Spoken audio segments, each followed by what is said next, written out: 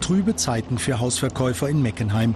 Die Makler brauchen derzeit doppelt so lange, bis sie ein Objekt an den Mann gebracht haben, zum Leidwesen der Verkäufer.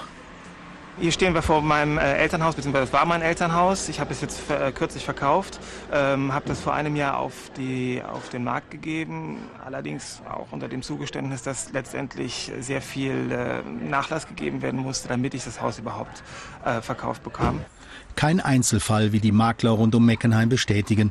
Auch Christina Kaiser macht öffentliche Vorurteile für den derzeitigen Preiseinbruch verantwortlich. Es kommen einfach weniger Anrufe, weniger Nachfragen und die Nachfragen, die kommen, sind schon am Telefon im Vorfeld sehr kritisch. Also da wird schon direkt gefragt, wie ist das denn in Meckenheim? Können wir da überhaupt hinziehen? Wir haben Kinder. Ist das ein Problem? Wir lesen so viel in der Zeitung, hören im Radio, im Fernsehen. Das merkt man. Dabei hat Meckenheim das, was nicht nur junge Familien suchen. Kurze Wege zum Einkaufszentrum, ausreichend Schulen und eine günstige Verkehrsanbindung. Potenzielle Hauskäufer haben also derzeit in Meckenheim gute Chancen, preiswert an ein eigenes Heim zu kommen. Die Auswahl ist groß.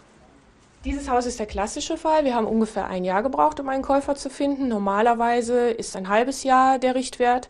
Und ähm, auch hier hat der Preis dann um die 20 Prozent nachlassen müssen, um den Käufer zu finden. Auch in Meckenheim gibt es einen städtebaulichen Brennpunkt, der immer wieder für Schlagzeilen sorgt. Die, die in der Stadt wohnen, aber fühlen sich hier sehr wohl. Ich bin hier der Hausmeister, betreue ca. 100 Wohneinheiten und äh, habe hier ein vernünftiges Umfeld von Bewohnern. Also das, was mal so in der Zeitung steht, äh, Kriminalität und hier Krieg und Krach, das ist weder noch. Der Ruf hat in der Stadt zur Gründung eines kriminalpräventiven Rates geführt. Hier wollen Verwaltung, Gerichte, Polizei und Bürgervertreter gemeinsam nach Lösungen suchen. Die Kriminalstatistik indes gibt außer ein paar spektakulärer Fälle nichts her, was Meckenheim besonders auffällig machen würde.